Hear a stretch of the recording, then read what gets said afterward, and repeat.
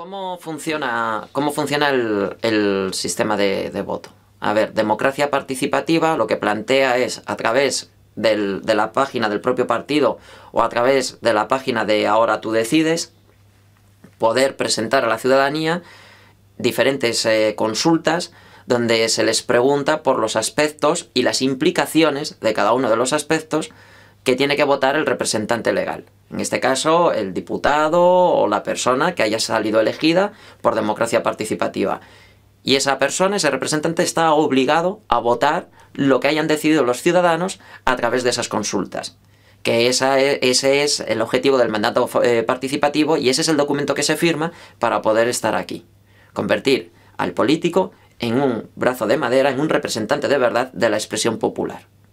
Mi intención con, esto, con presentarme aquí, ¿verdad? Y, abandonar un poco lo que es mi vida cotidiana y, y yo creo que la de todas las personas que han puesto su tiempo y su esfuerzo de manera altruista al servicio de esta iniciativa, es fundamentalmente conseguir cambios en la forma de hacer política en, este país y posiblemente en otros.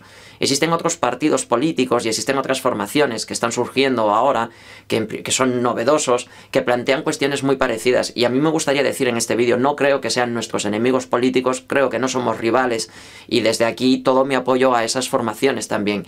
Creo que antes o después lo deseable y lo esperable es que todos podamos converger creo que no nos estamos pisando el terreno y que no nos estamos eh, solapando. Creo que lo que nos falta es superar los egos personales de cada una de estas formaciones, superar el quítate tú para ponerme yo y poder llegar de verdad a un entendimiento que nos permita cambiar por fin la realidad política, social y económica que en estos momentos sufrimos y padecemos.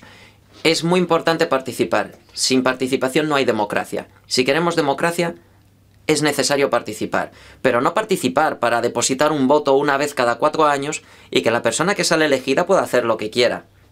Eso no es democracia.